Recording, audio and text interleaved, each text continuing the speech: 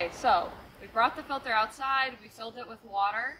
Uh, you can also see I've cut the outlet tube and plugged it up here. So um, we, it's easier to work with a little bit of extra tubing when you're pouring the mold and, and stuff, but um, yeah, the outlet tube should be cut to be just like a centimeter or so below the bottom of the nose uh, because the water level will drain to wherever the outlet tube stops. Um, so the next thing I want to do is test the flow rate. Uh, so you with the water filled to the top of the filter, you should get um, about one liter of water flowing out per minute. So we have a 500 milliliter container here, so that means it should take about 30 seconds for this to fill. Uh, so what I'm going to do is I have a stopwatch, and I'm going to unplug this, and uh, yeah, we'll just time it and see how it goes. All right. Starting it.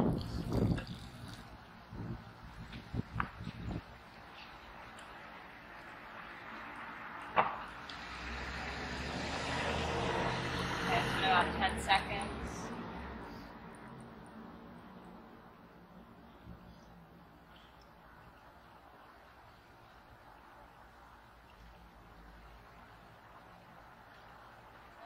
So it just hit. It's about 27 seconds for it to be 500 milliliters. So it's right about on the mark. I'm gonna plug this up again. Um, so the next thing we want to do is just make sure that the water level does indeed flow until the bottom of this outlet tube. So I'm just going to let this run for a little bit. And what should happen is, so the water's you know mostly to the top of the filter now, and it should go, and it should stop once the water level in the filter you know gets to the same level as the bottom of this nose. And the reason we're doing that is a couple of things. Um, we want to make sure that that's how the filter works, right? So the sand is going to come all the way up to you know here or so. Um, and this, if this is where the water stops flowing, then we want to be able to have a four to six centimeter um, standing water level above the sand at all times. Because uh, if there's not enough water above the sand, then the biolayer could die out. It gets too dry and die. Um, conversely, if there's too much water on top of the biolayer, um, it won't get enough oxygen and it will also die. Uh, so four to six centimeters is ideal. Um, this is still running. It's probably going to take another couple minutes for this to run. We also want to make sure that we can put our diffuser in nicely in here, um, and that the top the top of the like standing water level doesn't you know, come up above um, the diffuser because we want there to be a little bit of space between the bottom of the diffuser and the standing water level. So we let uh, the water drain until it, you know, you can still see it trickling a little bit, um, but it's pretty much stopped, and um, the water level in here looks to be about the same as this. Um, you're probably wondering why the water is so dirty. Uh, it's because there's some like concrete dust and stuff inside the filter after you demold everything.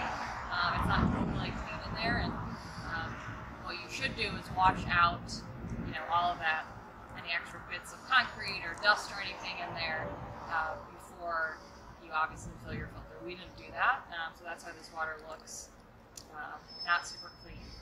Um, yeah, definitely before you install the filtration media and stuff, you want to make sure that you flush the filter a few times um, just to get you know out any sort of gunk that may be left in there. Okay, so now that the water stopped flowing, I'm just going to make sure that um, my diffuser will fit in and no water is seeping up. I'll put it in here. That looks to be good. Uh, letting it out a little bit. And yeah, we're good to go.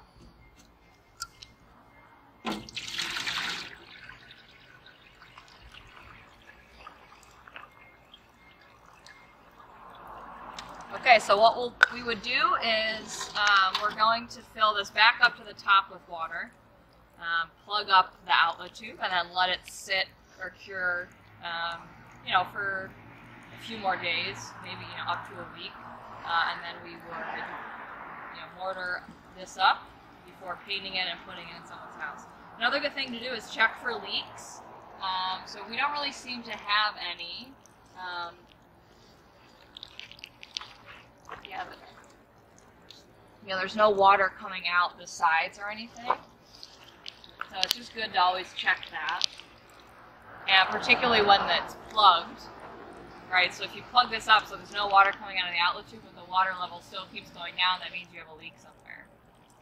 So this filter looks like there's there's no leaks or anything at the bottom, which is a good sign.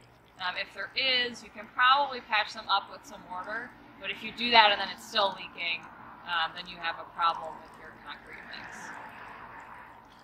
Okay, so make sure to check out the rest of our videos uh, and our website for more resources, and you can always email us have any questions. Thank you.